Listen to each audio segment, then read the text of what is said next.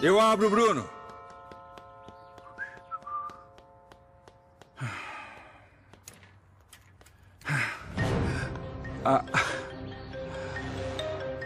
Infeliz.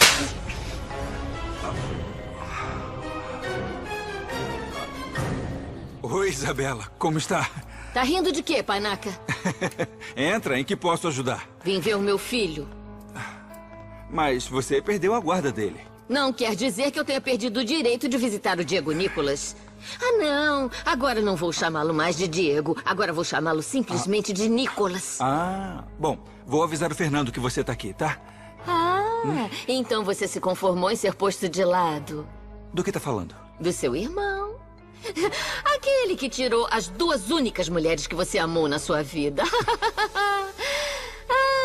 Ele se casou com a Estefânia, teve sete filhos. E agora ele se casou com a Ana e vai ter outro filho com ela.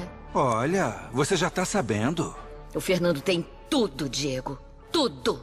E você não tem nada. Tá sozinho. E é assim que vai ficar, assim que vai morrer. Mas eu não tô sozinho.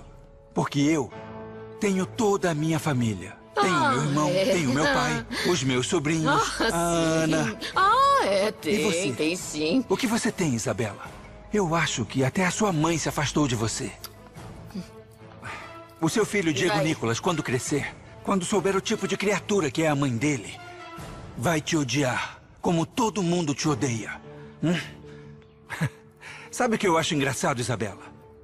Que tenha caído na minha armadilha e que tenha acreditado em todas as minhas mentiras. Você é um. Opa, que isso? Fica calma. É tão bonita, tão inteligente. Por que estragou a sua vida, Isabela? Hum?